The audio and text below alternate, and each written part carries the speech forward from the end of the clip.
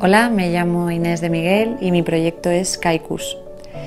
Es un proyecto que nació en Madrid, yo soy de Madrid y surgió todo a raíz de mi libro de microcuentos. Primero escribía mis microcuentos en papel y he querido dar un salto plasmándolos en otro medio, que son las vajillas. De forma que las historias siempre empiecen en el primer plato, continúen en el segundo y, se cierren en el postre, porque de esa forma se, genera una expectación y una intriga al, comensal cada vez que, va a un restaurante. Este, por ejemplo, va, va dedicado a mi hermano que, que es mago y, y bueno, pues dice, damas y caballeros, lo que pase a partir de ahora dependerá exactamente de lo que quieran ver en sus vidas. En el segundo dice, sin ilusión solo será un truco y en el último, con ilusión será pura magia.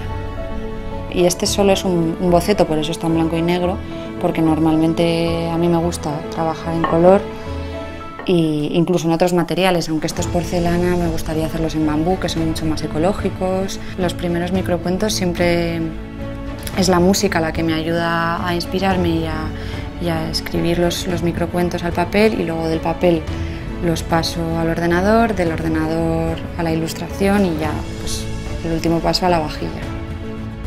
Ojalá que en algún momento esto lo hagan ilustradores más famosos que yo y ilustradores mucho más talentosos que yo y que de alguna forma se haga más grande esta, esta idea de los cuentos en, en vajilla.